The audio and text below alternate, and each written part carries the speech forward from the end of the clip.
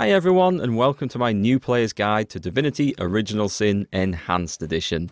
Now this guide is aimed at players who are completely new to Divinity Original Sin, but if you have played through the game then do leave your top tip in the comments down below. I'm going to talk mostly about the character creation system, the leveling system, explain how some of the skills and perks work, so you can make more informed choices when you build your characters and party at the beginning of the game. And if you may be wondering whether Divinity Original Sin is going to be the game for you, then do check out my review, link down in the description below. Okay, let's start a new game, and I would recommend just regular classic difficulty for your first playthrough. There's still plenty of challenge in there, you're going to be able to learn the game, get away with a few mistakes, and just have some fun. So in Divinity Original Sin, you create two main characters to play through the story. And whilst you may notice that you can choose from different classes, these are not classes as such. They are just a collection of skills under a theme of wizard or battle mage.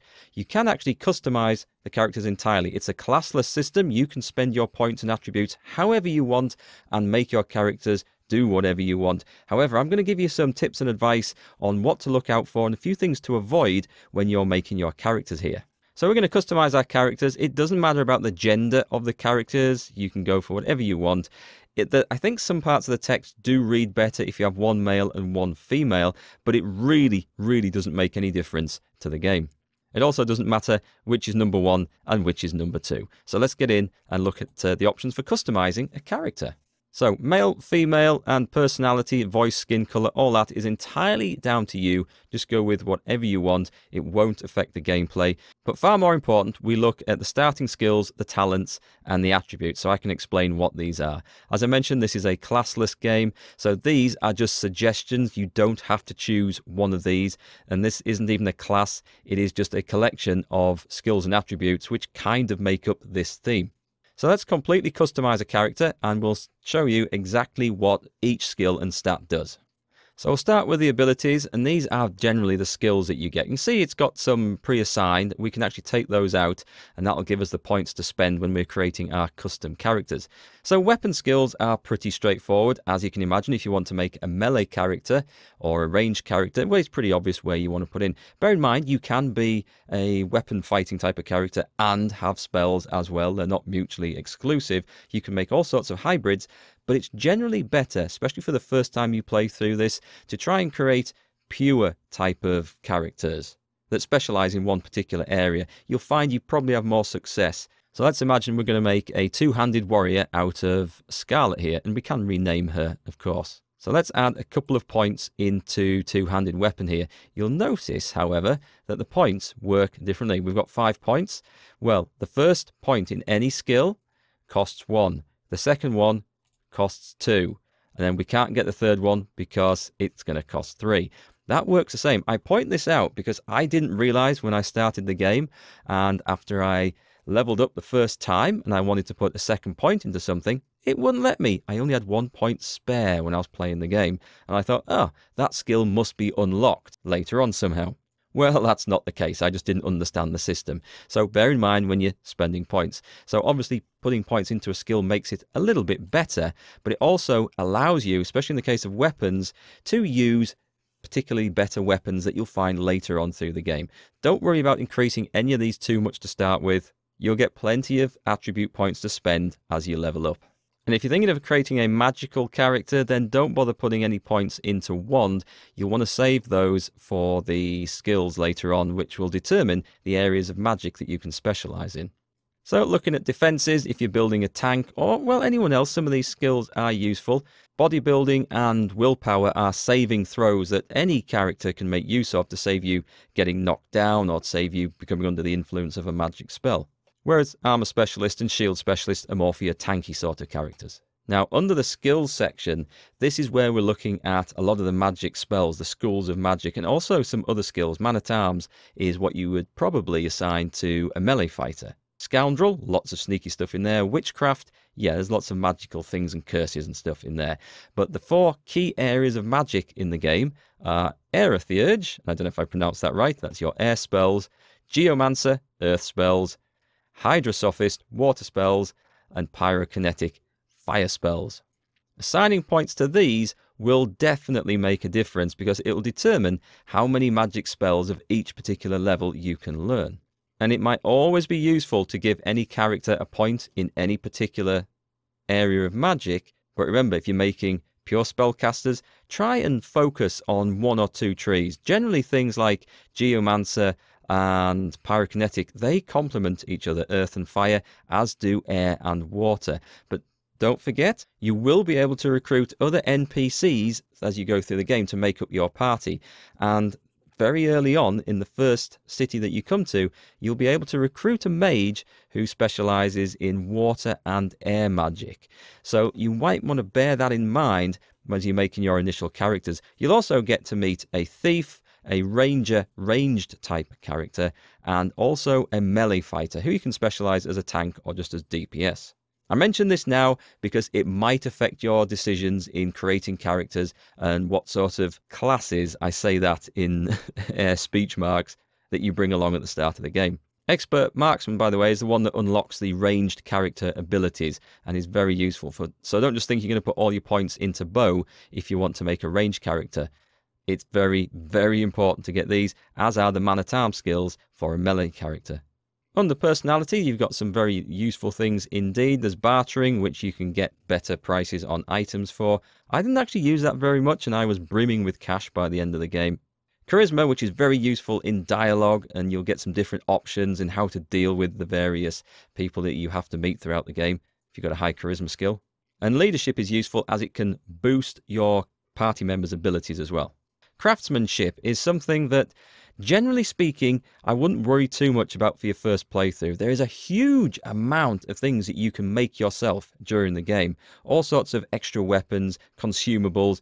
It is actually really good, but you'll not know what you want to put your points into, what you want to craft at the beginning of the game. And there's so many other more useful skills that are going to be vying for your skill points. It might be worth assigning blacksmithing and or crafting to one of the NPCs that you recruit later, so you don't worry about it too much on the main characters if you want.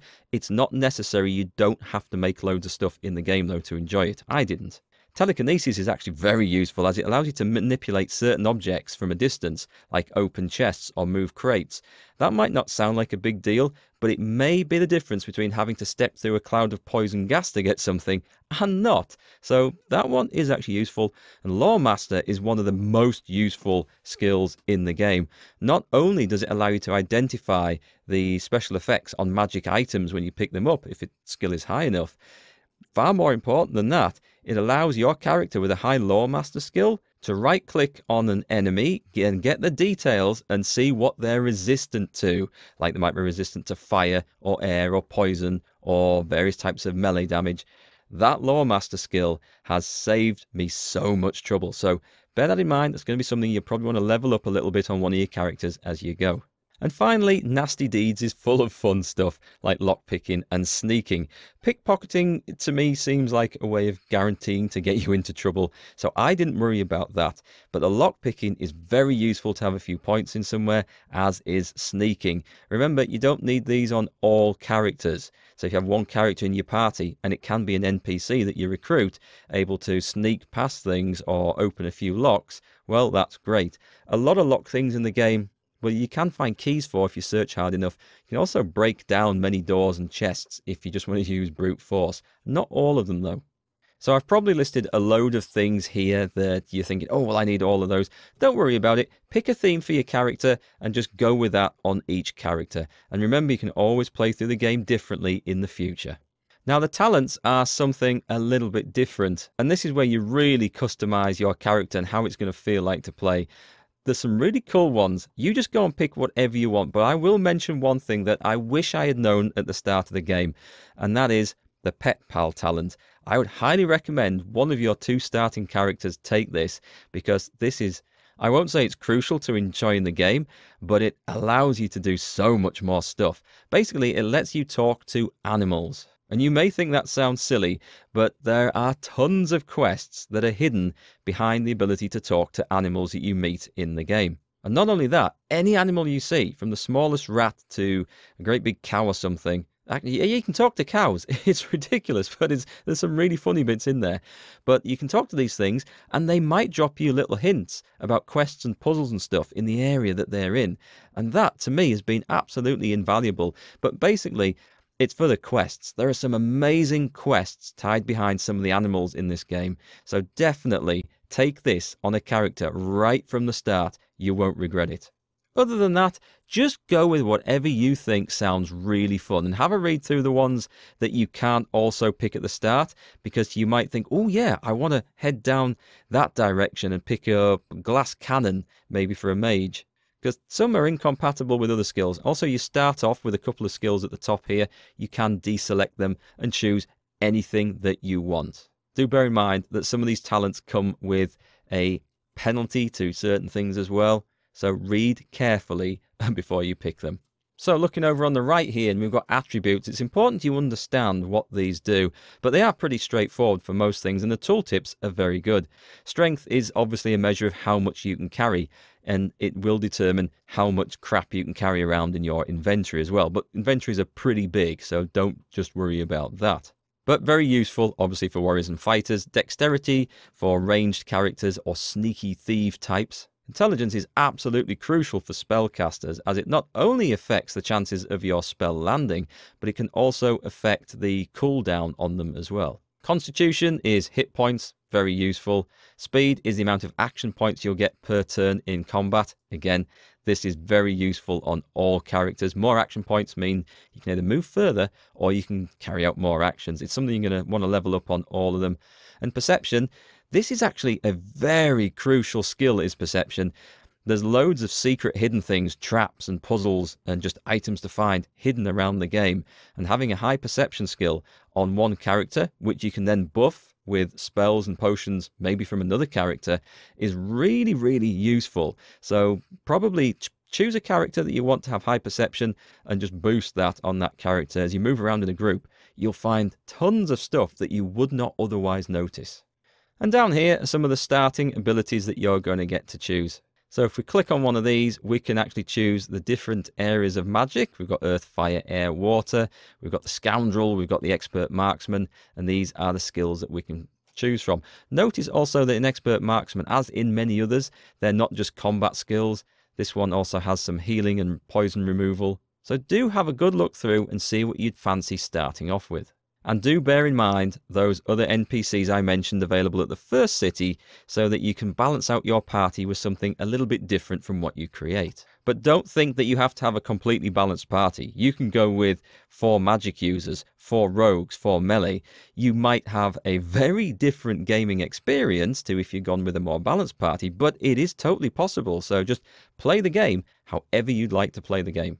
It's also worth noting at this point that it's not strictly necessary to have a dedicated healer, although all your characters could get one point in the water magic, which would allow them to use a basic healing spell. You can recruit an NPC water magic specialist at the first city you come to, but you can ignore the magic altogether and just rely on potions, in which case probably want someone with some crafting skills to make more, but you can buy a lot and find a lot. You can eat outside of combat to slowly boost your health back up, or if you find a bed, you can rest. So you don't have to rely on magic. But I will say this it is really useful and saved my ass loads of times. Also, if you want to make some hybrid characters, do bear in mind you will pick up pieces of armor and equipment which boost particular skills. Like I had a set of lockpicking armor on my ranged character, helmet, gloves, chest, which each had plus one lockpicking on, which allowed them to open locks that they didn't have the raw skill points for. So you will find equipment which boosts things like that that you can then equip in a particular situation. So whether you create these characters or recruit them at the first city, I would recommend one melee character not necessarily a pure tank, could just be for damage. At least one character with the water healing spells as a specialization. And then two of the characters that are going to be good at damage. Now, that could be a fire mage and a scoundrel. It could be a ranged damage dealer. It could be a couple of hybrids or one hybrid and a specialized mage. But basically, go with whatever party makeup you really fancy playing because there is no right and wrong way to play this. You will make it work one way or another. And that's the beauty of this game. Just go out and enjoy it and play it. And now for a few simple tips that'll help you first time players along in the game. And let's talk about money. It makes the world go round, right? Well, it's going to be very important in your first playthrough, especially if you're not crafting a lot of your own materials. But don't worry, whilst money might seem scarce at the beginning, by the end of the game, I felt absolutely loaded. And the secret to this, of course, is pick up anything that isn't nailed down. Steal everything you can. Uh, do be careful, of course, if the owner is stood there watching. Try to close doors on NPCs so they can't see what you're up to. But go into houses and buildings, and if you're not being watched, clean them out. The great thing is, you can actually sell anything to almost any NPC in the entire game. You can trade with all of the characters that you can talk to. Not all of them will have enough money to buy your crap that you've picked up, but it's there, you can sell stuff, and the NPCs do regenerate money overnight as well. One of the great money makers I found was the paintings that are hanging on walls of people's houses, bedrooms, inns, taverns. If people aren't watching, just go and hoover them all up and sell them. Nobody cares about buying stolen goods, so help yourself, and you've got a nice, easy source of money. Of course, if you want to roleplay it, you might not want to go down this route, but as long as you don't get caught, there aren't really any consequences to doing this, and it's a nice supply of cash. Another handy tip that came in really important in my playthrough is to make sure you've got a character with high perception and that you buff that perception skill whenever you're trying to seek out something that you think might be hidden, or if you think you're in an area where there might be some secret doors or secret buttons or traps or things, you can buff the perception skill with various potions, with magic spells. You can also buff it with armor. Yes, do keep a set of armor with plus perception on rings, amulets. You don't have to have it equipped all the time, but do keep a set of this in your inventory because you never know when it's going to come in handy. And likewise, keep a set of armor for any other skills that are going to be situational. I think I mentioned it before, but do keep a set of lock-picking armor. That is very important. Sneaking armor for those times when you're going to have to sneak past certain traps and enemies in the game.